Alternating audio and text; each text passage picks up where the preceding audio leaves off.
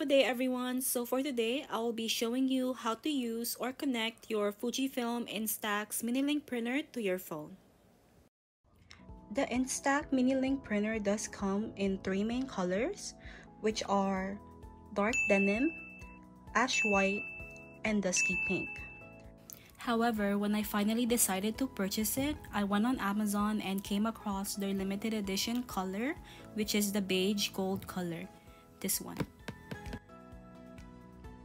So there are basically just three main steps for you to follow in order for you to properly connect your mini link printer to your phone. So first step is to get this USB cable and get your power adapter to fully charge this printer. That's the very, very first main step. You cannot forget that step because that's where everyone messes up. Okay, so second, let's pretend that this has been fully charged already. Okay, so let me put this on the side. Then let me put my phone on the side as well so I can properly show you. So you have to turn this printer around. And you can see this big door over here. And then there's a small button that you have to push to your right. And it'll open this way. This is where you put the instant film. Okay? That will be your second step so let me just open the box and get one of the films so we can get started.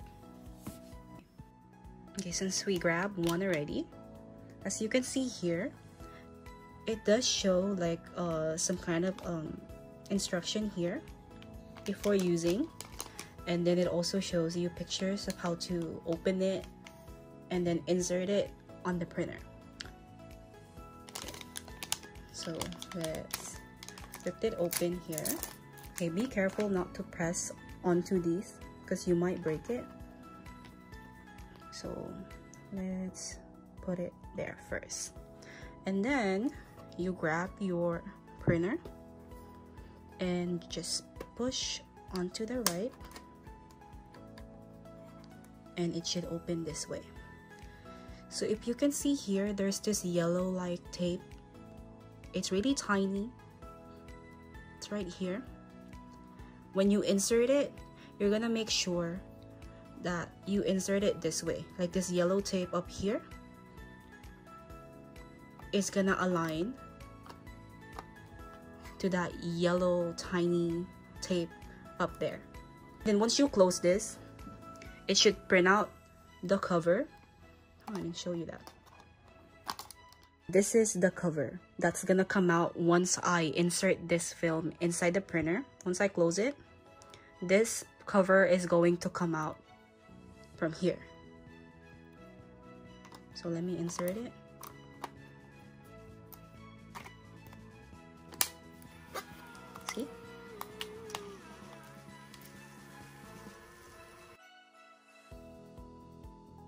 See, this will only happen if you do the first step, which is charging this fully. So now we're done with the second step, inserting the film. Third is,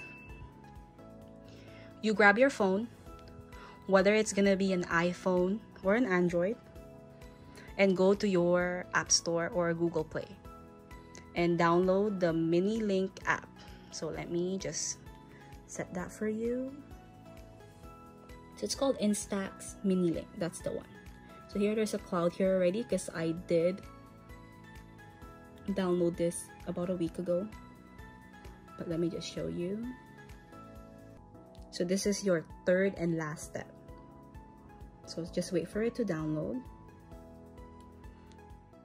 Once you open the app, the first thing you'll see is the Bluetooth settings window. So just power on the printer for now. As you can see, there's different lights showing on the printer. That means it's trying to connect to the app. And if you turn to the screen on my phone, it's showing the device number, which you can find at the bottom of the printer right there. So just click connect. You know once it's connected because the white light is going to be showing on the printer and the device number will be showing on the gray space on the screen. So I normally just click on simple print, go to my albums and my favorites, then select a photo. So what I just selected is a picture of me and this black cat that we feed every day. You may also add text on your picture or you can rotate it or zoom. You may also make use of the different filters offered at the bottom And lastly, you can also make use of the correction button on the bottom right, which is um, changing the brightness, contrast, saturation. I don't really use any of those and I just print my picture as is. Once you're ready to print your picture, just click onto the round red button and it should show the word transferring on the screen as it prints your picture. And then it'll be like pulling up like that on the screen and it should come out of the printer.